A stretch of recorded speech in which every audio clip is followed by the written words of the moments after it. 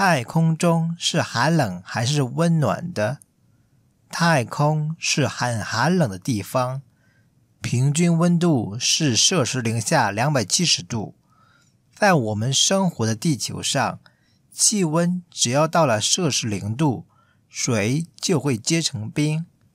太空中的各种天体温度不同，例如太阳表面温度高达摄氏六千度，而离太阳较远的海王星表面温度却只有摄氏零下两百四十度。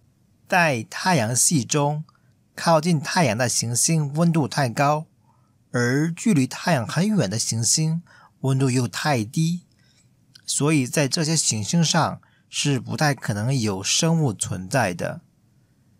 地球与太阳的距离适中，不会太冷，也不会太热，非常适合生物生存。